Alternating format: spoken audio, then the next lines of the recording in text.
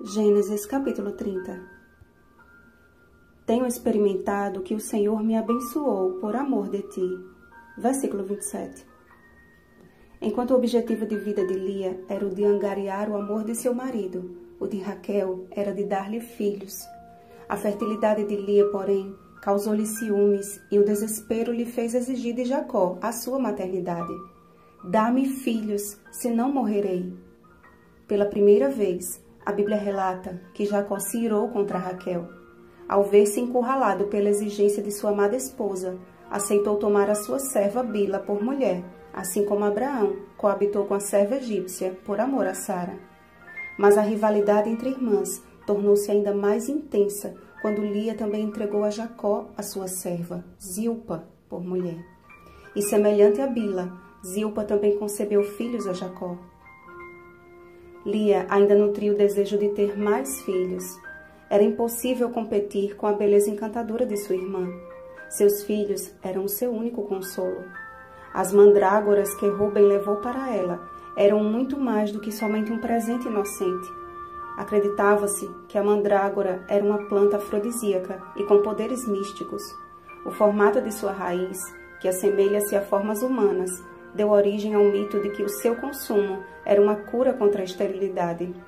Mas, na verdade, ela contém propriedades tóxicas e que causam alucinações. O desejo de Raquel por consumir tal planta, portanto, não foi o de saciar o apetite, e sim acreditando na suposta magia de sua composição de finalmente torná-la fértil. O tiro, porém, saiu pela culatra e a fertilidade que buscou de formas escusas lhe renderam mais alguns anos de espera e o desespero em ver que Lia concebia mais filhos.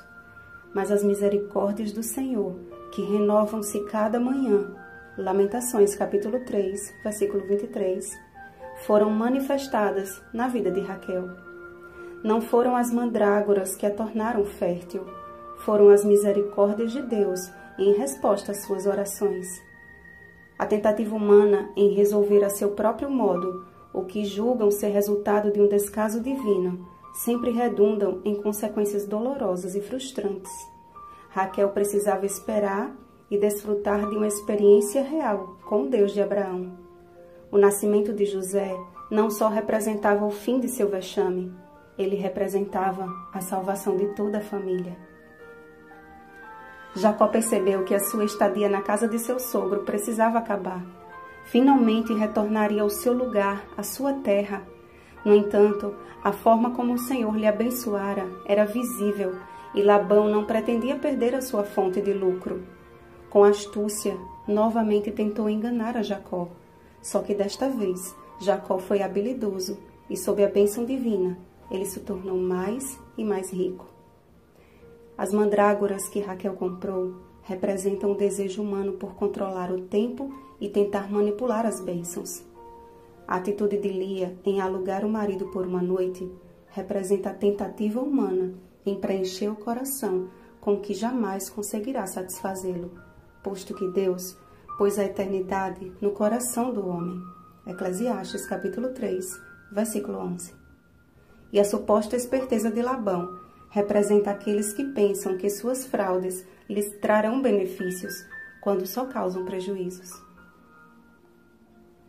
Diante dessas histórias reais de pessoas como nós, percebemos que o Senhor trabalha de forma individual e singular com cada filho seu.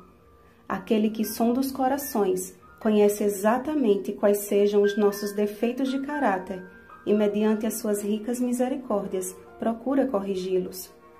Por vezes não compreendemos o agir de Deus e nem temos paciência para esperar o seu tempo. Mas ele, que se fez carne e habitou entre nós, João capítulo 1, versículo 14, compreende as nossas dores e com longanimidade espera a nossa entrega. Se tão somente confiarmos no Senhor e em sua provisão, assim como Jacó obteve ovelhas fortes, ele nos promete fortes bênçãos Permita que Deus seja Deus em sua vida. Feliz semana, abençoados por Deus. Rosana Garcia Barros